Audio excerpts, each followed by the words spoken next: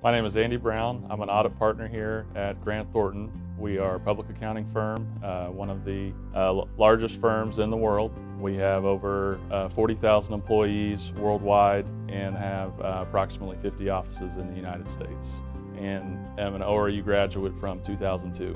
Well, I had an excellent experience at ORU. Uh, Mr. Greg and Mr. Unruh, longtime accounting professors at ORU, had a strong impact on my life, and it's been a really rewarding part of the experience of hiring ORU grads since I graduated from ORU to give back to really the investment they made in my life. Well, the ORU degree is certainly valued by Grant Thornton and a number of other large businesses in town and also across the nation.